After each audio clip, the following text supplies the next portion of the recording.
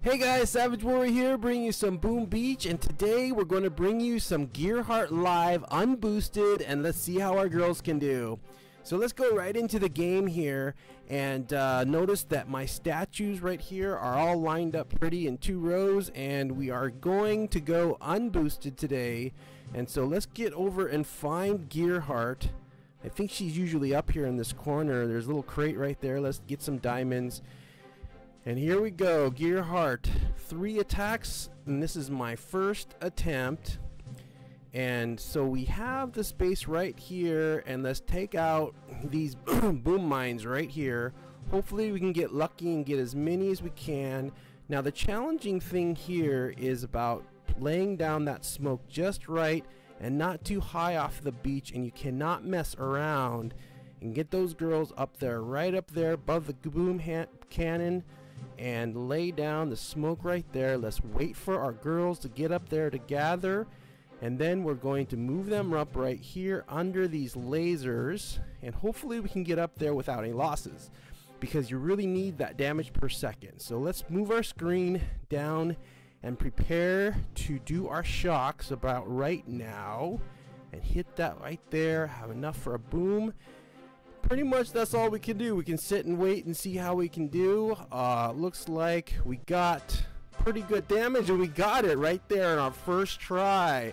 So um, right now let's go over to a replay and we can evaluate that one more time and uh, cool.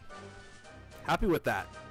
You know, I only lost 39 guys and I expected more losses, but I had just upgraded my Zookas to level 21 and I was unboosted and I didn't expect to be able to take it down so easily. Um, but let's take a look at the replay and figure out how we did this because there's a little tricky move here at the end I want to share. First off, you have to be able to land with two smokes because you want as much gunboat energy because once you get up there, we're going to have to do four shocks. If you land these smokes too tight together, you're going to get hit on both sides by the shock launcher and the laser is also on the left right there. This second, uh, third smoke and flare is real easy to do and lay down a fourth smoke and a fifth right up there before we're uh, ready to attack the base. But the trick here is knowing in advance your shocking points and we're going to lay down four on right on that flamethrower, the rocket launchers, around those rocket launchers on top and off to the right.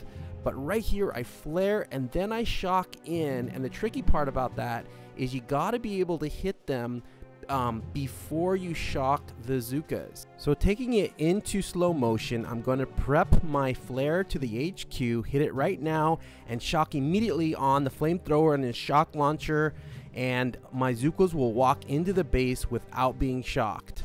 Again, a full speed. Let's watch this one more time, and that's how you do it. Hey, before I forget, I want to give a big shout out to Death Squad for allowing me to shoot some of my videos, and a huge shout out to Bootstrap who's been very helpful to me. Anyway, keep on watching, guys, and I'll see you later. Savage Warrior out.